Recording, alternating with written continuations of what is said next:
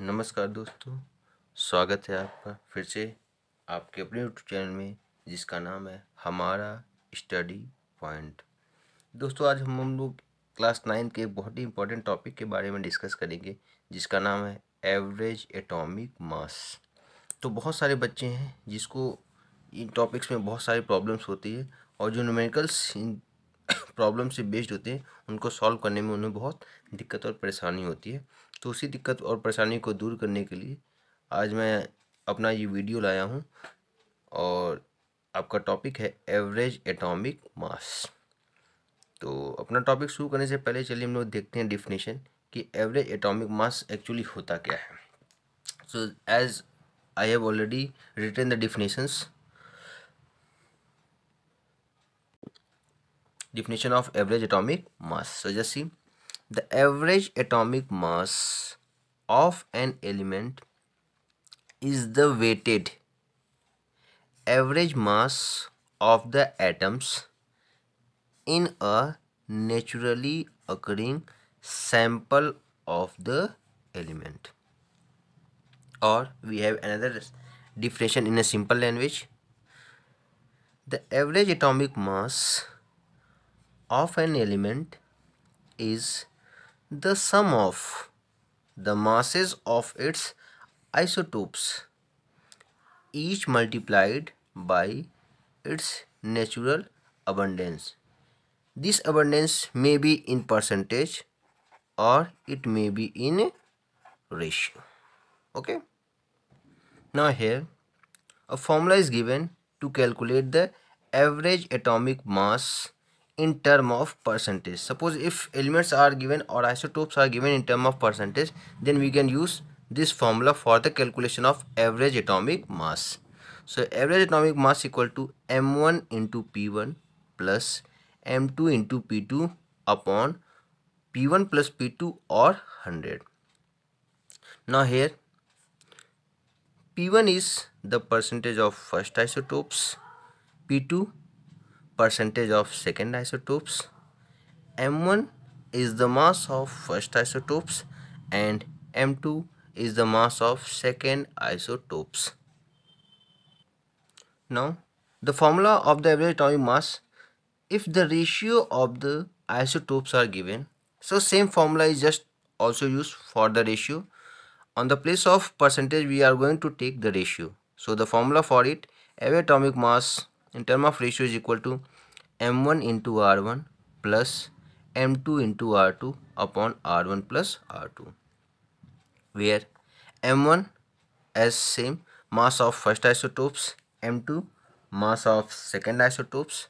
Here r1 is the ratio of first isotopes and r2 is the ratio of second isotopes suppose if any more isotope is given then we should use r3 r4 and so and so on. Now i am going to solve the problems based on average atomic mass. So as see question is given that the average atomic mass of a sample of an element x is 16.2 u means the average atomic mass of the sample x is given. And we have to calculate the percentage of isotopes here the two isotopes are also given. So to solve any problem first we have to write down the given things. So as i have already written that average atomic mass is given 16.2 u. M1 that is mass of first isotopes 16 mass of second isotopes 18 now we have to calculate the percentage of the isotopes. So let the percentage of first isotopes be x so the percentage of second isotopes definitely will be 100 minus x because the total amount of percentage is equal to always 100 so for the second isotopes percentage is 100 minus x. Now put this value in the general formula of average atomic mass that is m1 into p1 plus m2 into p2 upon 100 so just see i have put in the value. So here is average atomic mass 16.2 u into equal to m1 16 percentage x plus m2 18 and percentage 100 minus x upon 100 now just solve it. By cross multiplying 100 in average atomic mass we get this amount 16x plus 100 1800 minus 18x just take the value of x one side that is 2x equal to 1800 minus 1620 and we get the value of 2x equal to 180 and after dividing we are going to get the value of x is 90 percent. So the percentage of first isotopes is 90 percent then the percentage of second isotope must be equal to 100 minus 90 that is 10 percent. So in this way we are going to get the percentage of each isotopes present in the sample. Now i'm going to take next question. So next question is as shown the two isotopes of an element x again having these two isotopes are present in percentage 90 and 10 now in this question percentage is given and we have to calculate the average atomic mass. So as per the rule first we have to write down the given things. M1 mass of first isotope 16 mass of second isotopes 18 as percentage of first isotopes 90 percentage of second isotopes 10 percent. And we are going to put these values in the general formula of average atomic mass. Just see by putting this value average atomic mass equal to 16 into 90 plus 18 into 10 upon 100 after multiply we get 16 9 144 so value is 1440 plus 180 and after totaling we are going to get 1620 upon 100 and at last we are going to get the average atomic mass value which is equal to 16.20 u. So i'm going to take next question. Just see next question question number three. The two isotopes of chlorine are given the first one is this and second one is this. Are in ratio 3 and 1 3 to 1 here the ratio of elements are given and we have to calculate the average atomic mass. So for solving this problem once again we are going to write down the given things. Mass of first isotopes 35 mass of second isotopes 37 ratio of first isotopes 3 ratio of second isotopes 1 so these are the given things.